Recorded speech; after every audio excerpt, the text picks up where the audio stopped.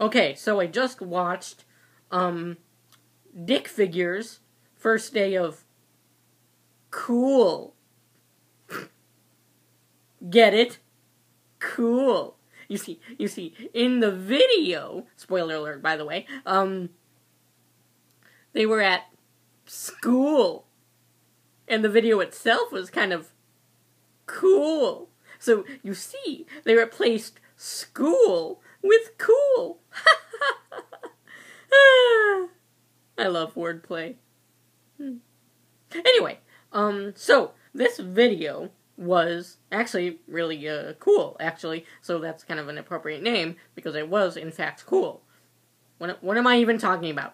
Anyway, so uh, dick figures. If you don't know, for those of you that don't know, if you don't, you're an idiot. I, I mean, um, you you just aren't on the internet as much, which may be kind of a good thing actually. Um, if you don't know, Dick Figures is one of those Mondo Media shows, and in my opinion, it's one of the good ones. I mean, there's that Larva show which sucked, sucks, grammar. I, I I'm not good at it. Anyway, so um, Dick Figures is like one of the good ones, I think. There's this character where it's like meme man.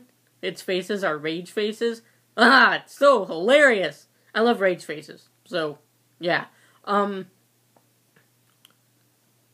But anyway, the video that I'm reviewing was awesome. I in uh, I will put the link below and you will watch it and you will come back and tell me what you thought of it in the comments down below. Yeah, look, I'm gonna go in the comments right now. Hey, don't say that! My nose is not big. Bo's take. Hm.